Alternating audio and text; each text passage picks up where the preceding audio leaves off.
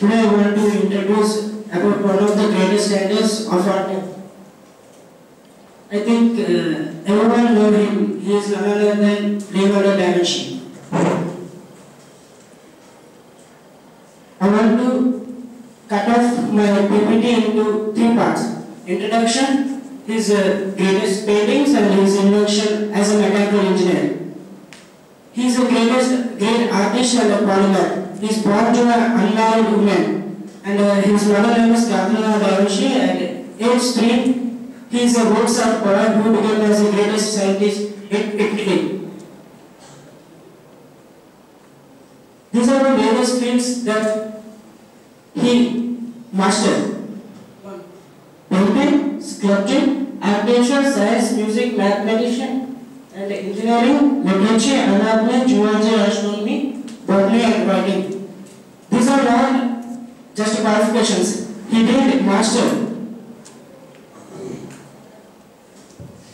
He is the uh, before I said he is the greatest scientist, and uh, he is also a visionary person.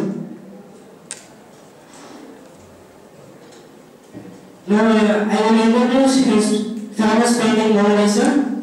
This is the Mona Lisa painting, which is a it is a priceless painting, which is uh, situated in USA.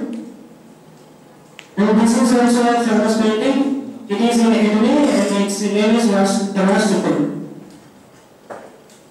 Now I am going to my third topic, uh, his greatest inventions. I be, he is basically a mechanical engineer, I you that, and uh, field of engineer, he first invented the tank because he worked in Italy as a military engineer. And this is the first parachute. And this is the first parachute and a flying machine. This flying machine is uh, extended by the Wright brothers to build his plane. And he is first to invent an helicopter, but the main problem of helicopter is it will go to up and down. It uh, won't go side and this is the scuba diving suit. He is the father of architecture.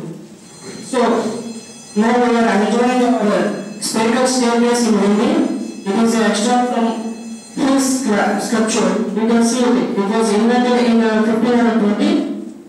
For this, he got a father of architecture. And the,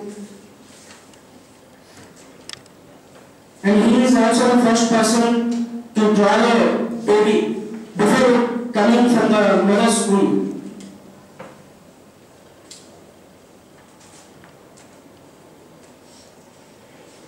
As he was a mechanical he did great things.